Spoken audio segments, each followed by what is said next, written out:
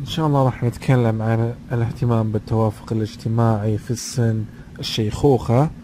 طبعا الاهتمام بالتوافق الاجتماعي والعلاقات الاجتماعية بين المتكافئين سنا وثقافة حتى يعني يشتركوا في الاتجاهات والاهتمامات مع التركيز على الهوايات المفيدة والرياضية أيضا والخفيفة مثل المشي والاهتمام يعني بالهندام العام بشكل عام. وأيضا يساعدون بعض آه، في بعضهم يعني آه، ويهتمون بنفسهم مع بعض.